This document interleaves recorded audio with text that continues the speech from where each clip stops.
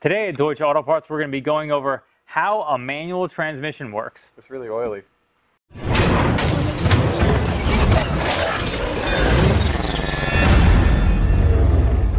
Okay, so before we get into explaining how a manual transmission works, we're here at Black Forest Racing with Cody, uh, and this is actually the transmission out of our Project Mark V build. We're going to be putting a differential and some other upgrades in it.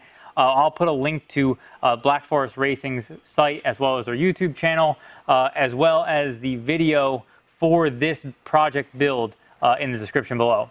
So let's get into explaining how a manual transmission works. So this is the internals of our manual transmission. We'll start at the last thing in the training before you get to the axles. This is the differential. Now you'll normally, you've probably seen if you've ever been around a manual transmission uh, or even an automatic, the axle flange here from the outside, this plugs into our differential. And the differential is ultimately what turns the axles, which gets the wheels moving.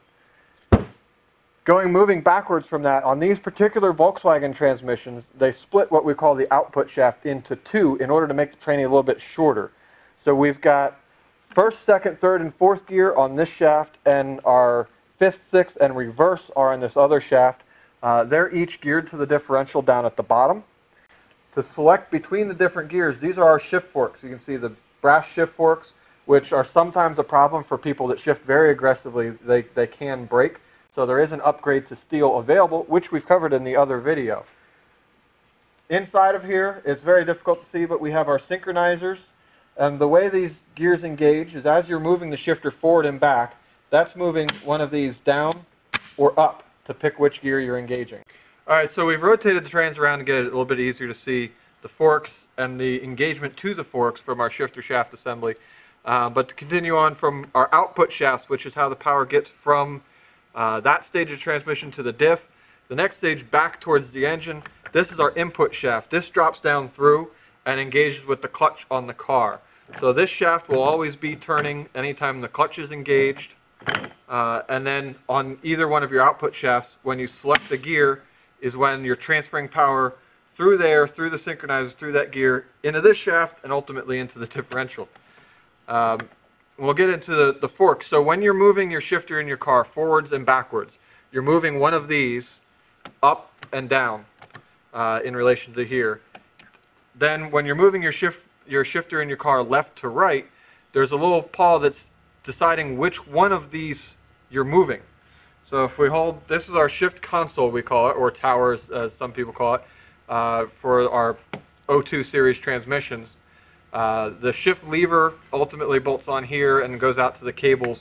So when you're moving your shifter in your car forwards and backwards, you're rotating this shaft, which if you see these little pawls, fit into here, and as the shaft rotates, it will lift this up or down, depending on which way you rotate it. And then when you're moving your shifter in the car left to right, it moves this in and out. So you, you see there's several different pawls on here. So right now, we're in reverse, as you get to the next one here, we'll select our first and second gear via this one. The next stage selects third and fourth gear, and ultimately when you move it the last step, it selects our fifth and sixth gear on the other end.